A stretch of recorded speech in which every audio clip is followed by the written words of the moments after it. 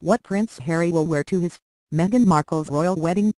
There's been so much talk surrounding Meghan Markle's wedding dress ever since it was announced that she and Prince Harry are engaged.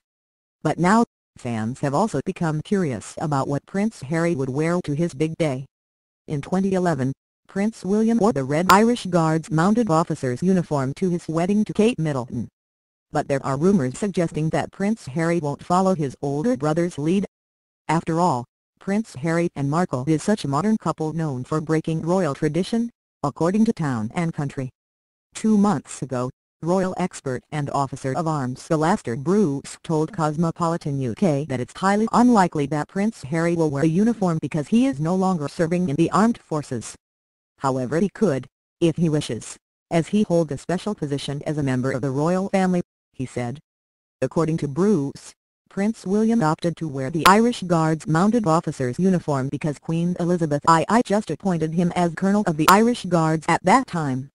If Prince Harry and Meghan Markle choose to marry in St.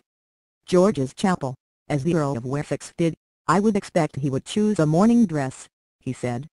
Just weeks ago, Kensington Palace announced that Prince Harry and Markle would indeed tie the knot at St.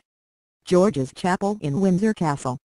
And if Bruce's predictions are correct, royal fans and wedding guests will see Prince Harry wearing a morning dress to his wedding. Meanwhile, Bruce also said that he doesn't think Prince Harry will wear military uniform to his wedding even though he's been appointed as Captain General of the Royal Marines. Looking at the way Harry is, I don't think he'd want all his friends to be put through all that panoply. And once you have a groom wearing full military uniform, you're going to have a lot of other people wearing full military uniform. It kind of changes the day, he said. But for the official announcement on what Prince Harry and Markle would wear to their wedding day, fans should wait for Kensington Palace to break the news.